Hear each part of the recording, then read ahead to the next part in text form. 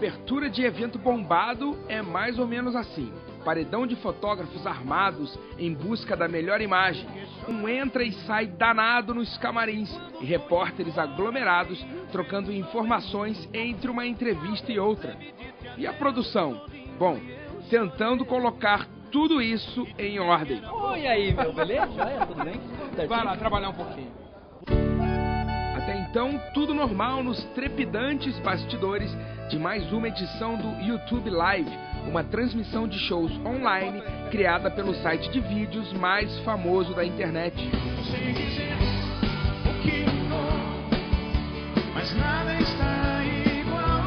Rápido e rasteiro, vocês têm meia hora, né? Nem nem isso. O que vocês estão achando dessa história de ter um show transmitido pelo YouTube? Parece que é a primeira vez que isso rola aqui no Brasil. É diferente, né? Está sendo os precursores disso, é muito legal pra gente. Agora, vocês são de fuçar é, show via YouTube, clipe? Eu sou, eu sou bastante. O Marrone não, o Marrone não gosta muito de mexer, mas eu. eu é é verdade. offline, Marrone? Eu já vi umas poucas vezes, mas não sou de estar acessando. não. Pelo menos esse você vai ver, né? Ah, tem que. ó, pelo amor de Deus. O mesmo palco que juntou músicos de diferentes gerações do sertanejo também mostrou que o gênero musical e a internet têm tudo a ver.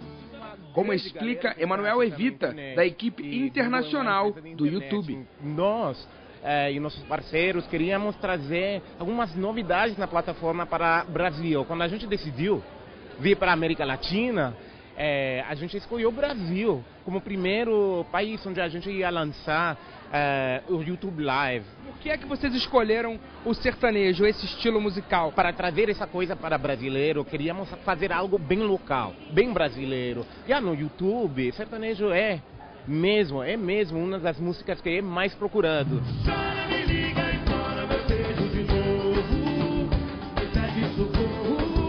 Deve ser importante para vocês que bombam nas redes sociais ter um show transmitido ao vivo pelo YouTube. Importantíssimo, cara. Hoje, hoje pra música sertaneja, na, na verdade a música do mundo inteiro, o YouTube é importantíssimo, né? A gente que coloca as nossas canções lá e de repente é uma forma de divulgação inacreditável.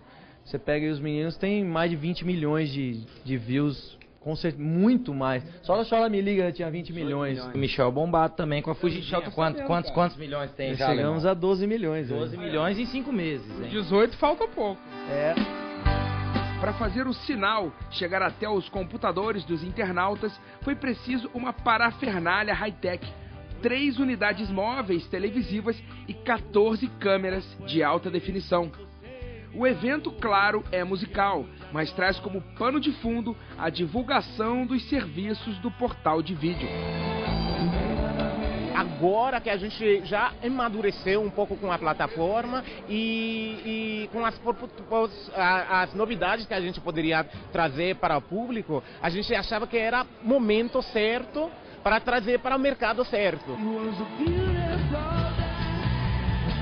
As primeiras transmissões em tempo real do YouTube Live aconteceram com bandas do porte de YouTube. Por aqui, a primeira versão brasileira do serviço foi vista por mais de um milhão de pessoas que puderam assistir em tempo real e direto de seus computadores as apresentações ao vivo de Bruno Marrone, Vitor e Léo, João Bosco e Vinícius, Luan Santana e Michel Teló. O evento ainda contou com a apresentação do trio Rafinha Bastos, Gianni Albertoni e Sabrina milhões Sato. discos, Ah, só- só entendeu? um pouquinho que a- Mu- Ele só vende um milhões de discos. Aí- não sei por que me Só um deram. pouquinho que a Jane é um pouco retardada. Cadê a Sato? Eliseu, vem cá.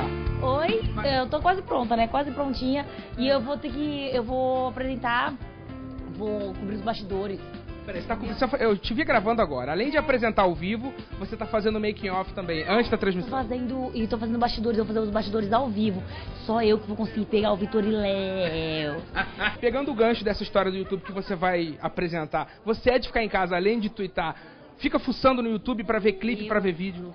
Você não tem noção eu faço tanto isso, tanto isso, tanto isso, que todo mundo reclama lá em casa. Eu sempre tenho um vídeo para indicar, um vídeo que eu gosto, um vídeo engraçado. Mas, por exemplo, se eu perco uma entrevista sua, que eu queria ter visto. Aí eu busco no YouTube, entendeu? Que com certeza vai estar lá. Então, Isso que é bacana. Então eu vou twittar depois o link dessa matéria. Tá bom, e vou fechada. te citar no Twitter. Eu tá bom, beijada. Tchau. Bruno Marrone, velho. É Bruno Marrone, velho.